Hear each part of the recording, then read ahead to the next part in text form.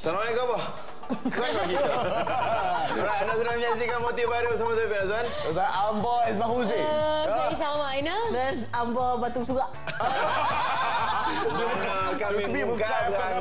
Pelik. Demo belakang. Ah, Bersama kita.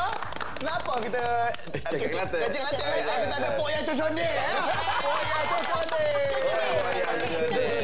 Menjadi bualan mulut netizen secara tiba-tiba, pelakon dan sutradara Sabri Yunus telah viral disebabkan wataknya dalam telemovie Poya Cucode yang bersiaran di Astro Citra. Telemovie hasil garapan Sabri Yunus ini sendiri telah mendapat liputan yang meluas di media massa maupun media sosial sendiri. Dengan ribuan share dan like, Sabri Yunus muncul untuk menjawab persoalan tentang sequel telemovie ini dalam Motif Viral.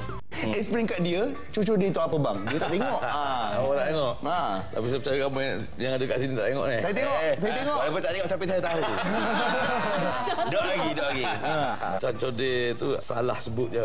Watak tu salah sebut. Hmm. Dia nak, dia eja Concord tapi dia, dia eja tu betul tapi dia sebut tu. Oh, cucu dia.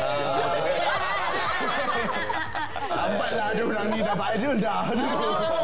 Dia viral bukan sebab nama tu salah. Nama Ya. tu salah peringkat awal orang, orang, orang tertarik nak tengok mungkin sebab nama nama Chan Chode.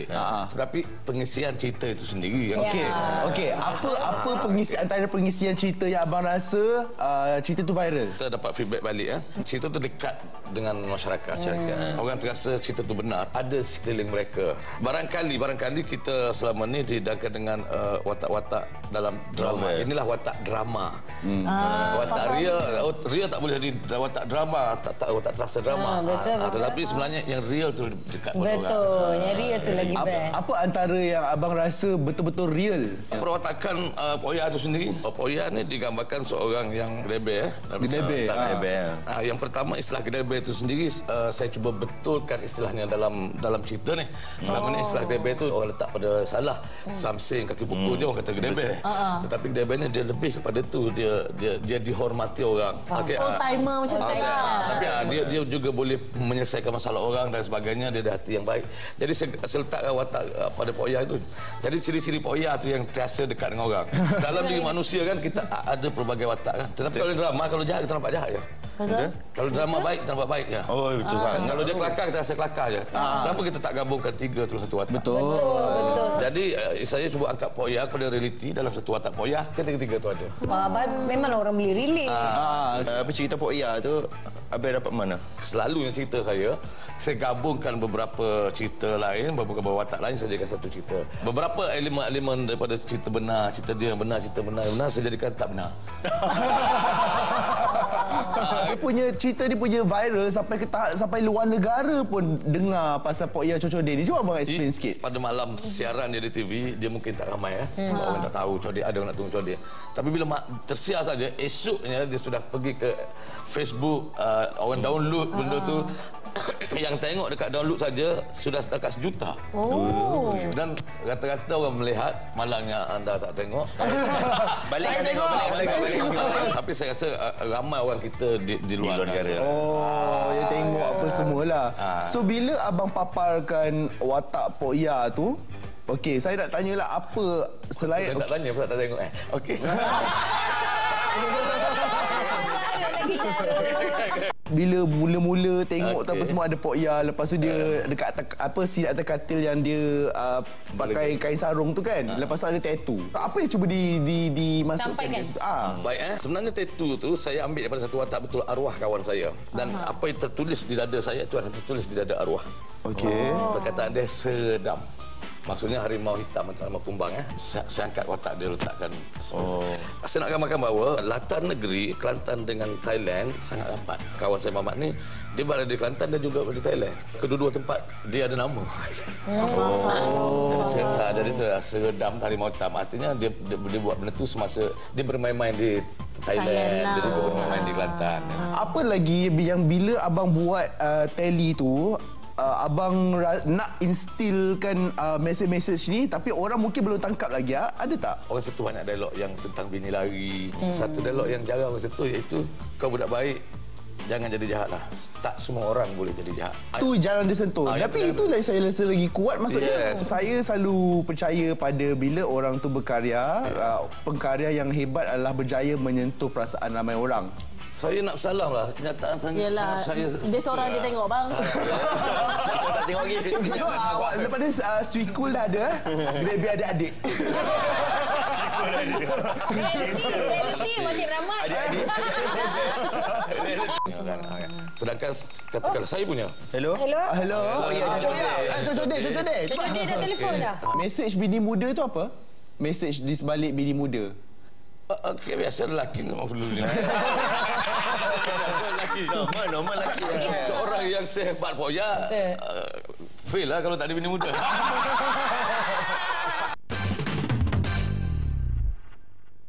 Assalamualaikum, salam sejahtera dan selamat menyaksikan Motif Viral bersama saya Bin Azwan. Saya Izman Huzain. Saya sama Aina. Dan saya betul surat. Di mana kami merungkai perangai pelik anda.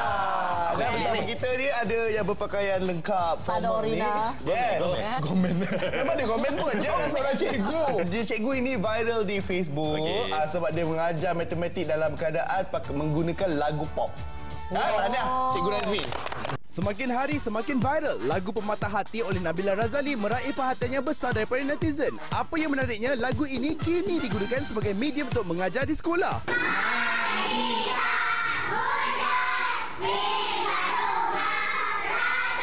Video seorang guru yang menggunakan lagu ini untuk mengajar subjek matematik pada murid darjah 2 di sebuah sekolah berjaya meraih ribuan likes dan share dan turut dikongsi di laman sosial seperti M-Star. Kita bersama Cikgu Nazmi dan murid tahun 2-nya dalam Motif Viral. Berjaya tak taktik tu? Oh, Pakai lagu. taktik tu sangat-sangat berjaya. Oh. Sebab selepas saja kita guna taktik tu pertama kali, satunya dia nak minta setiap kali kelas nak nyanyi. Lepas tu yang keduanya minta lagu lain. Yang ketiga siap tanya, nanti akhir tahun kita dah ada berapa lagu cikgu? Oh, tanya akhir tahun. Baru bulan baru bulan 2 tau. Bagus budak-budak ni bagi cikgu KPI terus ya. Dah buat anugerah ke? So sebagai salah satu cara saya saya try lah cara ni dan saya tanya dulu lagu apa yang uh, dia orang suka dengar. Saya pun dengar juga lagu tu. saya, saya boleh ajar dengan sebelah sekali. So bila cikgu ajar tu, cikgu ajar macam mana? Cikgu tulis dekat papan papan putih. Ah, mula saya, saya tulis lirik dekat papan putih. Ha. Tu saya nyanyi. Dia nyanyi dia ikut. Okey, cikgu nyanyi. Sekarang kita nak dengar. Suara cikgu sedap tak?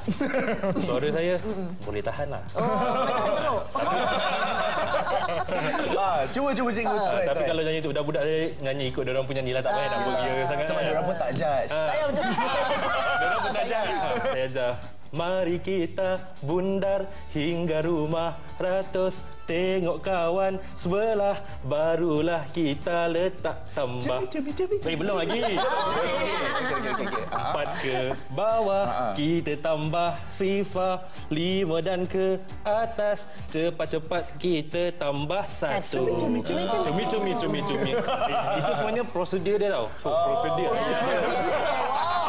Canggih Lagu apa lagi yang cikgu dah cover? Uh, okay. Cover tau. Uh, lagu yang kedua tu yang baru ni ada minggu lepas saya ajar lagi satu lagu daripada UNIC tu nya lagu sedar yang dia dengan Caprice tu. Tu. tak tahu kan? Tak tahu. Balik search YouTube. Lepas tu itu itu ajar apa pula? Ah yang tu ajak Abacus. Tak tahu kan Abacus apa? Abacus tu sempua. Ah bagus. Dia canggih sikit. Masih tak lah. tahu apa benda.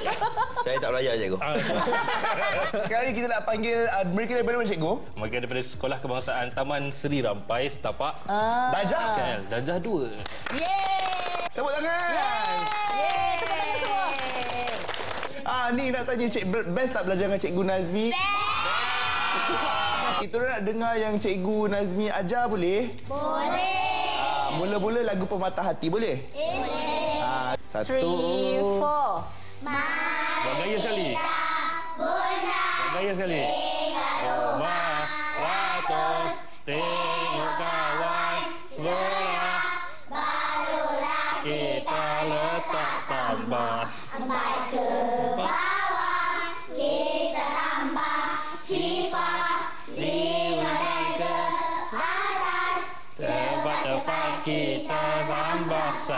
Cumi, cumi, cumi, cumi, cumi, cumi, cumi. La ilaha illallah. Hai. Kenapa ke- uh, matematik susah tak? Kata Wow, kau. kata kau. Lepas ni korang nak nyanyi lagu siapa pula? Lepas ni? Aisyah. Aisyah. Lagu Aisyah. Lagu Aisyah yang mana korang nak ni? Aisyah dengan